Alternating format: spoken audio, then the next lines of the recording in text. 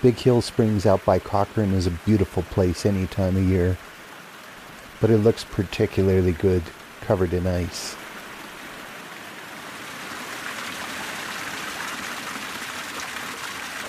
The year-round temperature of the water in Big Hill Springs Creek is slightly warmer than average. As a result, it rarely freezes right over.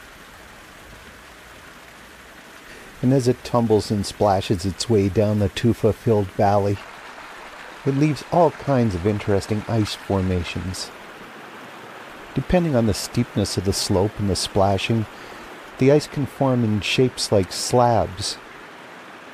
Sticks and leaves get trapped in it.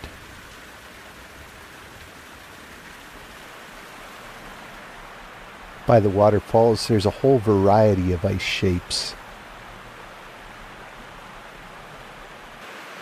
Splashing water makes concave shapes where the drops meet the cold air, while along the edge of the concaves the shapes are more abstract.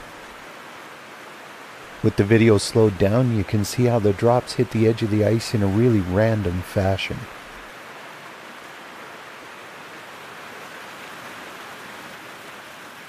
But no matter how the ice on Big Hill Springs Creek is formed, it looks absolutely amazing when you see it up close.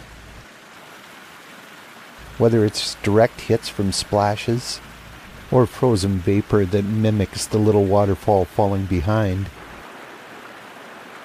the ice at Big Hill Springs Park looks absolutely beautiful. It's quite a place any time of year.